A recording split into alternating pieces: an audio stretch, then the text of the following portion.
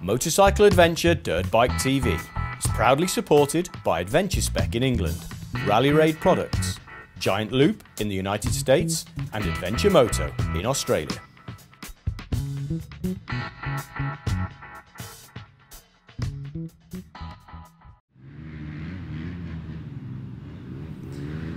I'd like you to meet Tim, currently the luckiest American in Australia. It's fair to say that Tim's riding style is unbelievably loose. But equally unbelievable is how Tim came to be here. A unique combination of Facebook, beer, and a mutual love of the Yamaha WR250R. After seeing Tim getting loose, I'm pretty sure there'll be a few engineers back in Japan scratching their heads as to what he can do with what they designed as a day tripper for the Japanese market. I caught up with Tim fresh off his flight from the United States. Darcy, how you going?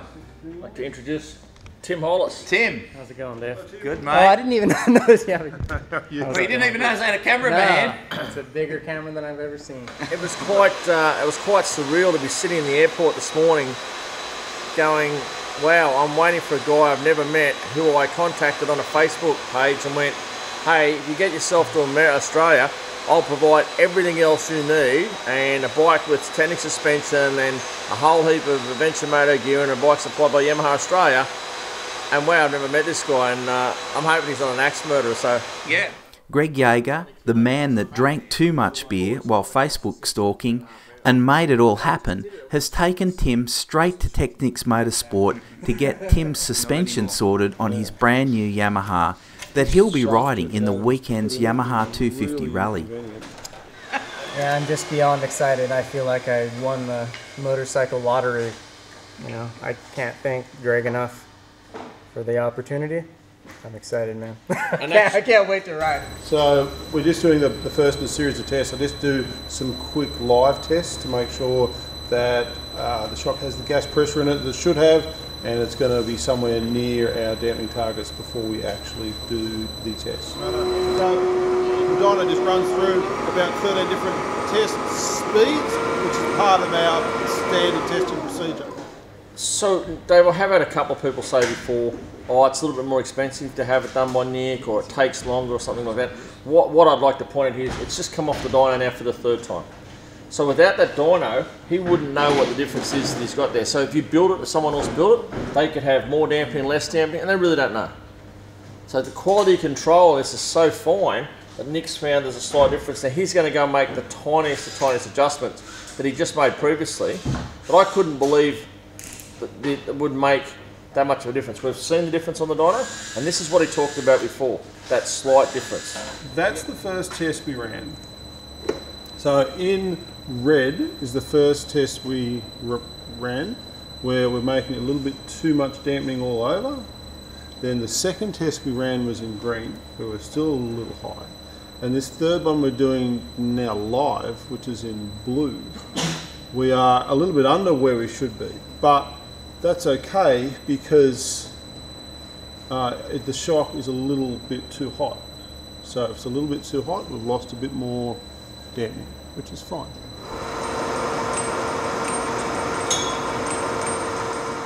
So we're, we're now finished. We've, we've done it. Um, I'm quite happy with how this one now tests. Uh, it's only the third time, and when people say, why does my shock take so bloody long to do? It's because we don't just assemble it and punt it out the door. If it's not right, then it comes apart again. There you are, and it's even warm. Now, um, did we tell him we weren't giving him a bike, or we're just giving him suspension? He's Going come- on a moped, right? Yeah, yeah, yeah. This is just a setup. Yeah. When I got here, when I first walked into Adventure Moto and saw the, the shop here and all the blue, it's kind of WR heaven in here, Yamaha heaven. And uh, when I went back and saw the brand new bike there with all, all the parts and everything, um, just kind of overwhelming. I, did, I didn't know what to expect, uh, and this has just kind of blown, blown me away. Yeah. Well, mate, there's it. All your stuff, you've seen it there. So if you take that, uh, that, This is all I need? and that, and we're going in about, we're leaving in about 25 minutes, right? So if you just get into it, Okay. well, um, right. don't look so confused, mate. It's not that hard. Oh, I'm good. No, I, good? I think so. yeah. Thanks. No. I'll see you guys in a little bit. Yeah, about 20 minutes. Okay. So where's your floor?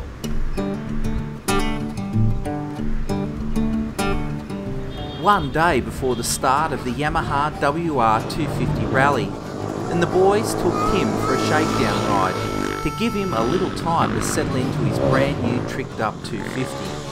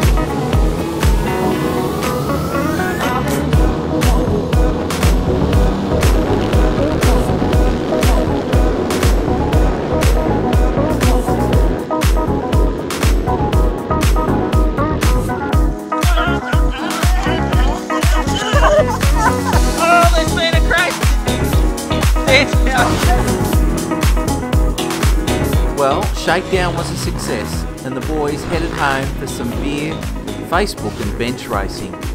One more sleep until the rally begins.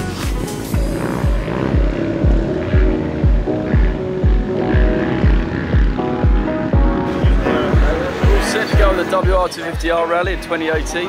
As you can see from last year, the numbers have pretty much doubled. We've got riders come up from Melbourne, they did a four day ride to get here. We've got a guest rider from the US, Tim Hollis, and the event's just getting bigger and better all the time. So I'm stoked to be part of it and can't wait to get on the ride. Hey Dave, how you going? Bigger than better than ever last year, 60 bikes this year Dave. Probably a maximum. So next year probably there'll only ever be 60 bikes. So what we'll probably do next year will be first and best dressed. Be aware of that. Lots of C and Yamahas.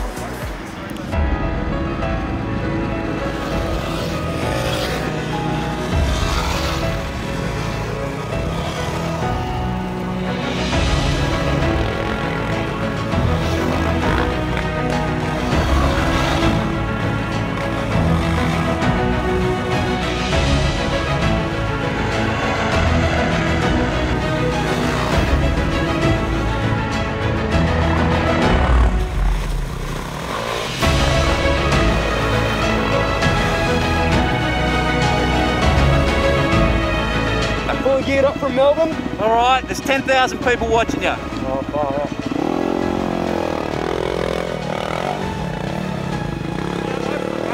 He's up.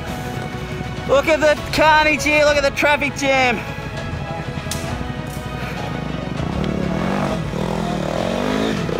Oh, he's got it crossed up.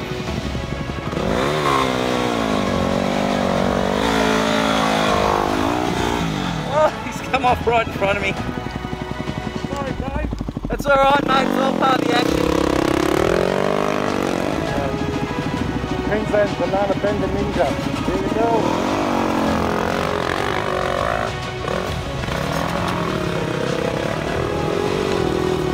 Go, go! Come on, get that baby going. Come on. Get on the seat. Put your bum on the seat. Just put it down. Put your bum on the seat and squash, drop the clutch. That's it.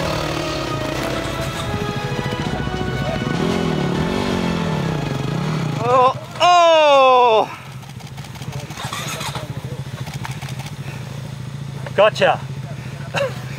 gotcha. You've been got in slow motion, oh. stills. thousand frames a second. second. You've been done. Ultra HD 4K. There's no bench racing with that. We know exactly what's happened. Oh, incredible.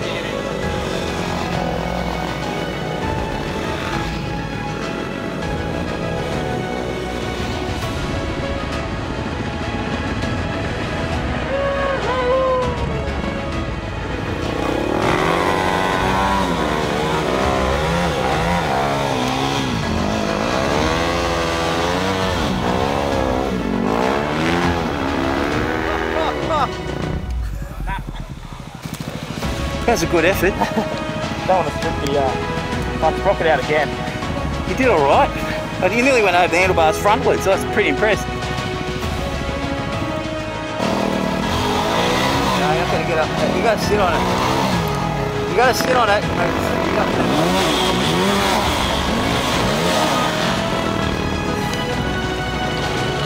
Give it another go. You just did your wheel stand at the wrong time. Just do your wheel stand the top of there and they'll lift you over. It like mean it. Go!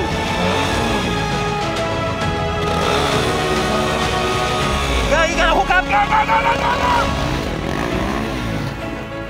Well done. Look, we'll give you a hand.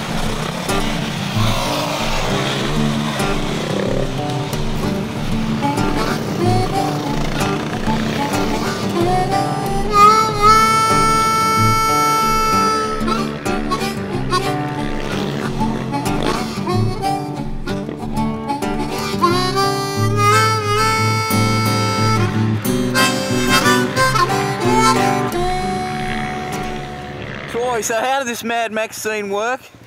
So, if you, ma- if you do remember in the scene when they pulled up in one of the little townships, and uh, the head of the bikies lined them all up and backed them into the uh, into the street there, wound them all up, got them rev the crap out of their bikes, then they shut it off and went in and took over the town. So we're sort of doing a bit of a reverse order on this. All one. right, so we're leaving the town We're after buying town. our twisties and milkshakes. right. Yeah, nothing hardcore here, and then we'll um, then we'll wind them up, and Right. then they can kick us out of the town, and we'll be on our way. Okay, so you're going to be out the front with a wig on. I'll- if I can find one, I'll get one out there and put my scruffy bikey wig on. Yeah, that would probably do the job. All right, beautiful.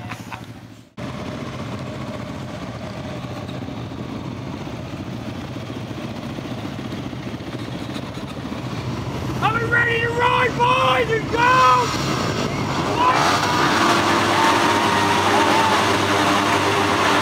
Go, brother! Yeah! Go, my boy! Right away! Into the blue yonder and beyond!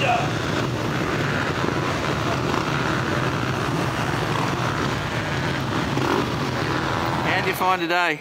Bloody brilliant. Good weather, good riding, no offs. That's what you like to see. I saw a lot of people come off today, but not too, not not at much speed. I speed. think I might have put a bit of mud in some people's faces as well. Yeah, oh well, don't admit to that on. How's it going? It's going good. I'm just, I feel like a jello, piece of jello, my whole body. A lot of activity yesterday. Yeah, it's been so much riding, you know.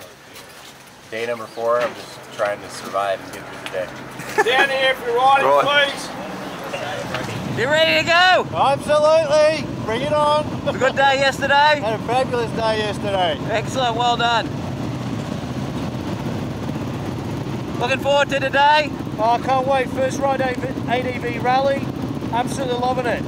Going to be massive. Well, look at the blue crew, they're out in force today. Hey mate, ready to ride? Yeah, ready to ride. Mate, I've been admiring your helmet for two days. Thanks. Love mate. it. Patriotism at its finest. Yes, I, I, I need to get something like that.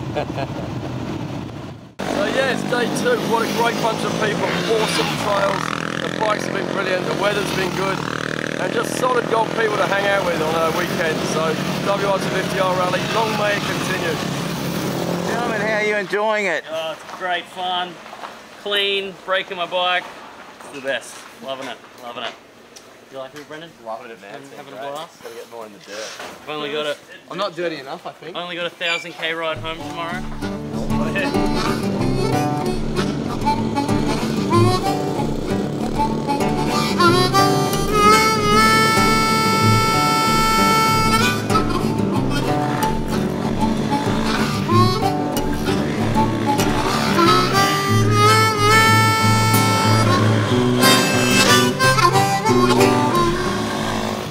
broken his finger. happens. What do you do? It's part of the game. Okay, so which one's broken? That guy is completely snapped in Oh. half. Do the thing again. No, let's not. Okay, I we're just going wanna make come it along straight, here. you know. We're going to come along here, like that. Okay, now can you bring that together? Just bring him together. That's it. Now I'm just doing this loose. Alright, but we'll keep doing it and we'll just make So- it nice. So what had happened was Pete and I were pushing real hard. We passed just about everyone in the pack. And I got to a comfortable pace and I was mobbing, then all of a sudden I had a 450 on my tail. So I was pushing it, you know, because I wanted to see how well the WR250R would do against the, the 450 on the trail here. So up there, um, I just was going way too fast. I was about fourth gear tapped. Um, didn't clear the, the bottom roller here. Completely bottomed out both ends of the bike as hard as they possibly could. I probably got bucked a good, I don't know, 40 feet. You did, and you hit that tree over there. If we just focus in on this tree, you've taken a fair bit of the bark off it. That, that tree is 35 metres from Yeah. where he hit. I think I got kicked from about there, airborne until somewhere around here, landed. Uh, well, I don't know if I really landed, but I did a couple front flips, landed on my feet, of all things. You got up like a cat.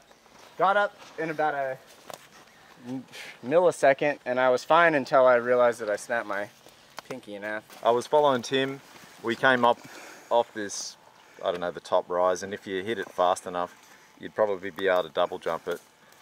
Unfortunately, he backed a little bit at the top, so he didn't make it. So he's cased on the lander, and that sent the bike in the air. And so he's a bit sideways in the air at this time. And as he landed, he landed completely sideways. So the bike dug in and then flipped long ways, not front over back. it went sideways, flipping off the track, and it's hit this tree here. Come and show me the tree. If you can see that tree and and that bark, you could probably make a canoe out of that. Look at how It's actually fairly thick, That's isn't it? the Aboriginals used to make dishes like that, Tim. Well, and you've done that in one go. That tree there, Yeah. you know? And then before it was over, before it, before the scene had actually the dust had settled, he was on his feet walking over to me going, "Man, I'm right, I'm right." And then he started thinking, and he goes, "No, I think I've busted this." And hats off to him. He was trying good. He was going well. Well done, Tim. Thank you, guys. Now remember this trail. It's called Yengo Trail. Y-E-N-G-O. That, I'll never forget it, that's for sure. That's the most wicked accident I've ever had in my life, so. So let's just come back a bit. So we've got a hole in a tree. Where's the hole in the motorbike? No, I think it might have hit with the bottom of the bike, maybe. I don't know. Have a The look. bottom of the don't know how this bike isn't snapped in two. Is there? Oh, there it's hit.